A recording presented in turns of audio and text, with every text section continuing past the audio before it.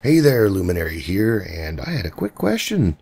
I do have a netbook. I was kind of wondering if I should, on Wednesdays, bring it with me and vlog while I'm at school. I know this isn't quite a vlog channel, it's more of an opinion channel, but you think about it, a vlog is an opinion. So, if that's something you'd like to see me do, because I know my netbook comes equipped with a camera, etc., etc., etc., I can just pack up my microphone. You can get the atmospheric uh, feel of what's going on, and I don't know.